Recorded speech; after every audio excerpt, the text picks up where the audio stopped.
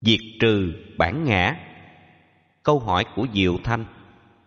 Hỏi, kính thưa thầy, con có vài điều chưa hiểu, xin thầy từ bi chỉ dạy cho chúng con được rõ. Con hiểu diệt trừ bản ngã là tầm quan trọng của việc tu. Có phải vậy không, thưa thầy? Đáp, đúng vậy. Diệt trừ bản ngã là điều quan trọng trong phật giáo. Nếu không diệt bản ngã thì không bao giờ có giải thoát nếu diệt ngã thì dễ, mà hành diệt ngã thì khó.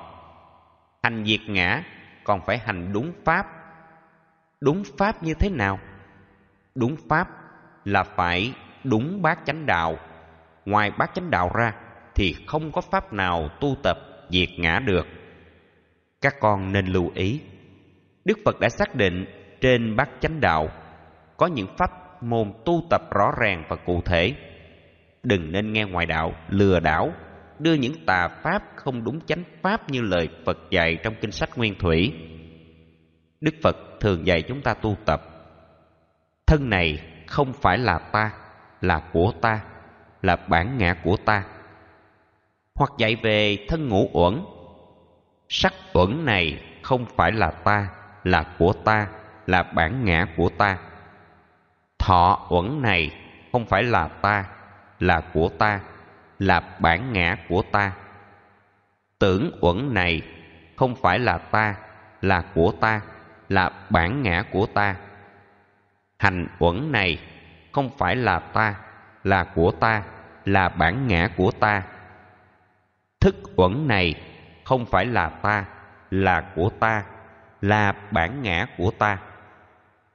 Khi chúng ta thường tác ý quán như vậy, thì bản ngã của chúng bị diệt khi Pahiya tha thiết cầu Phật dạy Pháp trên đường Phật đang đi khất thực. Ba lần Phật từ chối, nhưng ba lần ông cầu thỉnh với lòng tha thiết. Vì thế, Đức Phật dạy ngay bài kinh diệt ngã trên đường đang đi xin ăn. Này Pahiya, ông cần phải học như sau. Trong cái thấy sẽ chỉ là cái thấy. Trong cái nghe sẽ chỉ là cái nghe. Trong cái thọ tưởng sẽ chỉ là cái thọ tưởng. Trong cái thức tri sẽ chỉ là cái thức tri. Như vậy, này ba gia, ông cần phải học tập.